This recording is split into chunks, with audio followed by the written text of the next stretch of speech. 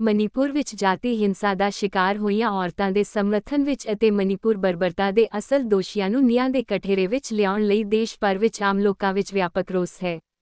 ਮਨੁੱਖਤਾ ਨੂੰ ਚੰਜੋੜ ਕੇ ਰੱਖ ਦੇਣ ਵਾਲੀ ਇਸ ਅਣਮਨੁੱਖੀ ਘਟਨਾ ਦੇ ਵਿਰੋਧ ਵਿੱਚ ਇਲਾਕੇ ਦੀਆਂ ਸਮੂਹ ਯੂਨੀਅਨਾਂ, ਜਥੇਬੰਦੀਆਂ, ਸਮਾਜਿਕ ਜਥੇਬੰਦੀਆਂ ਅਤੇ ਪੰਚਾਇਤਾਂ ਨੇ ਰੇਲ ਕੋਚ ਫੈਕਟਰੀ ਤੋੜੀ। ਸੀ ਕਪੂਰਥਲਾ ਤੱਕ ਅਰਥੀ ਫੂਕ ਰੈਲੀ ਕੱਢੀ। ਯੂਨੀਅਨ ਪਦਾਧਿਕਾਰੀਆਂ ਨੇ ਕਿਹਾ ਕਿ ਦੇਸ਼ ਦੀ ਆਜ਼ਾਦੀ ਦੇ 75 ਸਾਲ ਬਾਅਦ ਵੀ ਮਣੀਪੁਰ ਵਿੱਚ ਫੈਲੀ ਜਾਤੀ ਹਿੰਸਾ ਅਤੇ ਔਰਤਾਂ ਨਾਲ ਹੋ ਰਹੀ ਬਰਬਰਤਾ ਅਤੇ ਅਣਮਨੁੱਖੀ ਸਲੂਕ ਕਿਸੇ ਵੀ ਸੱਭਿਅਕ ਸਮਾਜ ਦੀ ਗੱਲ ਨਹੀਂ ਹੈ।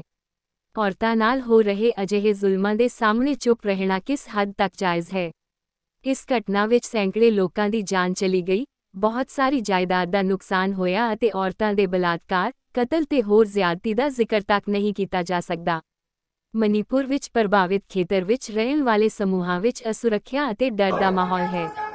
ਜਦੋਂ ਇੱਕ ਛੋਟੀ ਜਿਹੀ ਵੀਡੀਓ ਕਲਿੱਪ ਸਾਨੂੰ ਇੰਨੀ ਪਰੇਸ਼ਾਨ ਕਰ ਸਕਦੀ ਹੈ ਤਾਂ ਇਹ ਕਲਪਨਾ ਕਰਨਾ ਵੀ ਅਸੰਭਵ ਹੈ ਕਿ ਇਸ ਬੇਰਹਿਮੀ ਦਾ ਸ਼ਿਕਾਰ ਹੋਈਆਂ ਔਰਤਾਂ ਕੀ ਗੁਜ਼ਰ ਰਹੀਆਂ ਹੋਣਗੀਆਂ। ਅਹੁਦੇਦਾਰਾਂ ਨੇ ਪ੍ਰੈਸ ਰਾਹੀਂ ਦੱਸਿਆ ਕਿ ਰੇਡੀਕਾ ਦੀਆਂ ਸਮੂਹ ਮੁਲਾਜ਼ਮ ਜਥੇਬੰਦੀਆਂ ਧਾਰਮਿਕ ਤੇ ਸਮਾਜਿਕ ਜਥੇਬੰਦੀਆਂ ਇਸ ਘਟਨਾ ਦੀ ਪੁਰਜ਼ੋਰ ਨਿਖੇਧੀ ਕਰਦੀਆਂ ਹਨ ਤੇ ਡੀ ਸੀ ਕਪੂਰਥਲਾ ਰਾਹੀਂ ਮਾਨਯੋਗ ਰਾਸ਼ਟਰਪਤੀ ਕੋਲੋਂ ਇਨਸਾਫ ਦੀ ਮੰਗ ਕਰਦੀਆਂ ਹਨ ਅਤੇ ਮਣੀਪੁਰ ਵਿੱਚ ਸ਼ਾਂਤੀ ਅਤੇ ਸਦਭਾਵਨਾ ਸਥਾਪਿਤ ਕਰਦੇ ਫੈਸਲੇ ਲੈਣ ਲਈ ਕਦਮ ਚੁੱਕਣ ਦੀ ਅਪੀਲ ਕੀਤੀ। ਉਨ੍ਹਾਂ ਕਿਹਾ ਕਿ ਮਣੀਪੁਰ ਪਿਛਲੇ ਲਗਭਗ 3 ਮਹੀਨਿਆਂ ਤੋਂ ਨਸਲੀ ਹਿੰਸਾ ਦੀ ਭੇਟ ਚੜ ਰਿਹਾ ਹੈ। ਕੁਝ ਸਵਾਰਥੀ ਹਿੱਤਾਂ ਕਾਰਨ ਇਹ ਨਸਲੀ ਹਿੰਸਾ ਬੇਰੋਕ ਜਾਰੀ ਹੈ, ਜੋ ਕਿ ਬਹੁਤ ਹੀ ਦੁਖਦਾਈ ਅਤੇ ਮੰਦਭਾਗੀ ਗੱਲ ਹੈ।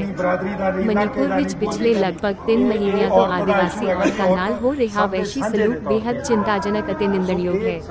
ਭਾਰਤ ਦੇ ਸੰਵਿਧਾਨ ਵਿੱਚ ਔਰਤਾਂ ਨੂੰ ਦਿੱਤੇ ਅਧਿਕਾਰਾਂ ਦੀ ਪੂਰੀ ਤਰ੍ਹਾਂ ਉਲੰਘਣਾ ਕੀਤੀ ਜਾ ਰਹੀ ਹੈ। ਇਸ ਤਰ੍ਹਾਂ ਦੇ ਵਤੀਰੇ ਨੂੰ ਦੇਖਦਿਆਂ ਆਗੂਆਂ ਨੇ ਸੱਦਾ ਦਿੱਤਾ ਕਿ ਜੇਕਰ ਮਨੀਪੁਰ ਦੇ ਉਪਰੋਕਤ ਹਾਲਾਤਾਂ ਲਈ ਜ਼ਿੰਮੇਵਾਰ ਅਸਲ ਦੋਸ਼ੀਆਂ ਨੂੰ ਭਾਰਤ ਸਰਕਾਰ ਵੱਲੋਂ ਇਸ ਵਿੱਚ ਦਖਲ ਦੇ ਕੇ ਜਲਦ ਸਜ਼ਾਵਾਂ ਨਾ ਦਿੱਤੀਆਂ ਗਈਆਂ ਤਾਂ ਅਸੀਂ ਮਣੀਪੁਰ ਦੇ ਪੀੜਤ ਪਰਿਵਾਰਾਂ ਨੂੰ ਇਨਸਾਫ ਦਿਵਾਉਣ ਲਈ ਸੰਘਰਸ਼ ਦਾ ਹੋਰ ਰਸਤਾ ਅਪਣਾਉਣ ਲਈ ਮਜਬੂਰ ਹੋਣਗੇ।